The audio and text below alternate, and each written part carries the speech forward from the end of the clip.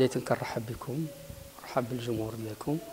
آه، الفكرة ديال تزيين القسم وإعداد الفضاء جميل يكون فضاء آه، مساعد فضاء مشوق فضاء مريح آه، يفتح شهية التلميذ المتعلم الدراسة والعطاء والمشاركة. هي فكرة قديمة لأن أنا ابن هذه المؤسسة.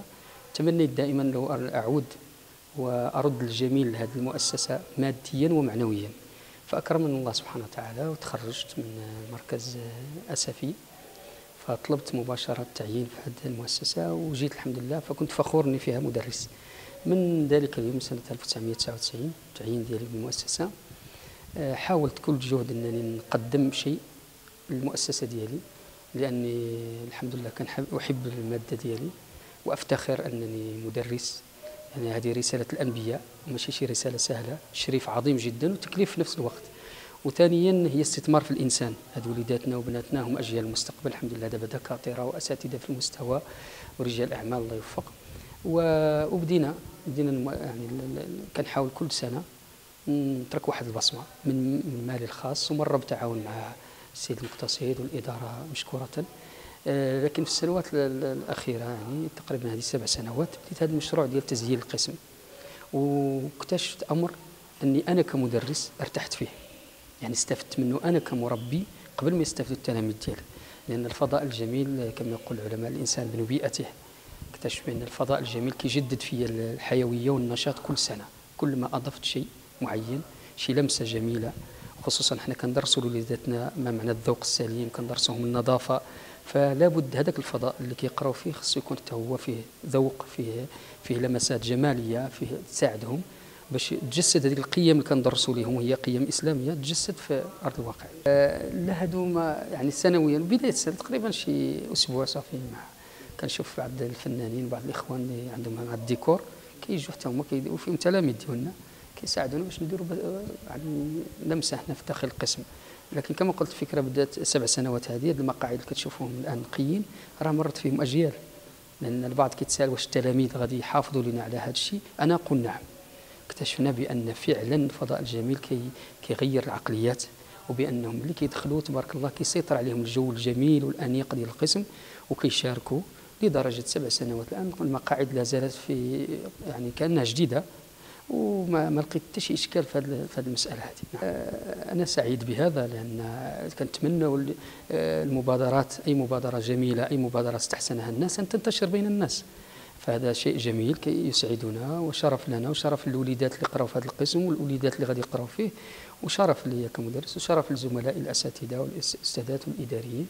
أه مبادرات أنا تعلمت منهم لولا أني مشتهم لولا أني شفتهم في الحمد لله شفتهم في الانترنت وكذا فنشر المبادرات الجميلة والإضافات الجميلة.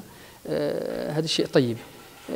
الوزارة هي مطالبة أنها تجهز وتقاد وهذه مسؤوليتها هذا لا نقاش فيه وراه كدير الواجب ديالها. لكن أيضا أنا كمدرس أنا يعني لابد أين الإضافة التي سأضيفها؟ فرايت اني من واجبي حتى أنا نضيف شي حاجة لنفسي اولا.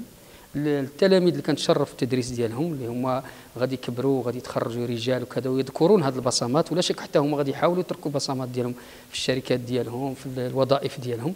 فهي إضافة ولا يمكن أن نخرج من أي مكان إحنا كنقروا فيه ولا كنعملوا فيه ولا نترك البصمة ديالنا. البصمة ديالنا الله عز وجل يقول انا نحن نكتب ما قدموا وأثارهم. فأتمنى إن شاء الله هذا الأثر المادي يكون له أثر نفسي جميل جدا. لا في نفوسنا إحنا كمربين وكأساتذة ولا في نفوس هذا الجيل الواعد بكل خير إن شاء الله تعالى. هذا من حسن الظن ديالهم ومن جمال أخلاقهم ومن سعة آه، القلوب ديالهم. جزاهم الله خيرا. فهم أجمل إن شاء الله. هم أجمل. هؤلاء الذين قالوا هذا أجمل قسم هم أطيب وأجمل وأحسن إن شاء الله. لأن الجميل لا يخرج منه إلا الجميل والحسن لا يخرج منه إلا الحسن والطيب لا لا يخرج منه إلا الطيب. فأنا كنشكرهم. وكنشكر أيضا في هذه المناسبة جميع تلاميذ أبناء الرجال الآن أطر وتلميذات اللي قراوا في هذا الفضاء وحافظوا عليه وخلوه يوصل هذا العام. يعني سلطت عليه الأضواء هذه السنة.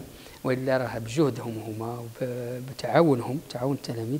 بقى هذا الفضاء جميل وأدى واحد عطى واحد الصورة طيبة أن المدرسة العمومية يمكن تكون يعني في صورة أطيب وأجمل بتعاون الجميع. آه لا يمكن العمل ليس عملا فرديا. حقيقة. وعمل تعاون الجميع إدارة والاقتصاد والمتدخلين كلهم. فالله كيقول وتعاونوا على البر والتقوى وهذا من البر الذي ينبغي أن المسجد عفوا القسم بالنسبة لي مقدس كالمسجد.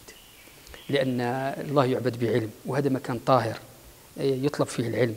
وبالتالي عندما يقول سيدنا رسول الله صلى الله عليه وسلم إن الملائكة لتبسط أجنحتها لطالب العلم رضا بما يصنع فمكان تبسط فيه الملائكة أجنحتها يجب أن يكون مكانا مقدسا. ففضاءات طلب العلم فضاءات الأقسام هي الأقسام اللي كنقراو فيها ونتعلموا فيها اللغات والدروس ونتعلموا فيها القيم والأخلاق وكذا يجب أن تكون أمكنة مقدسة وطاهرة.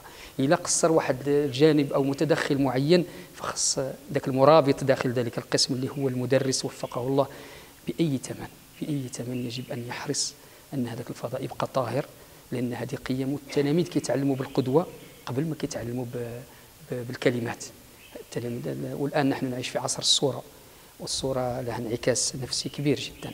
فمرة أخرى كنجدد الشكر للجميع من أثنى على هذه المبادرة وكنتمنى لهم كل خير في حياتهم إن شاء الله تعالى. زاروني مسؤولين زارني السيد المدير الإقليمي مع الوفد الكريم ديالو وقدموا لنا شهادة تقديرية وتنويه جزاهم الله خيرا. وكبروا بهذه المبادرة حقيقة وجاوا شكروا التلاميذ. التلاميذ هما أثنوا خيرا وفرحوا بهذه الزيارات.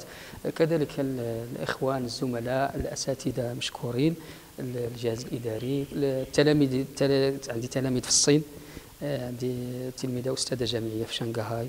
اتصلوا وأثنوا على على المبادرة.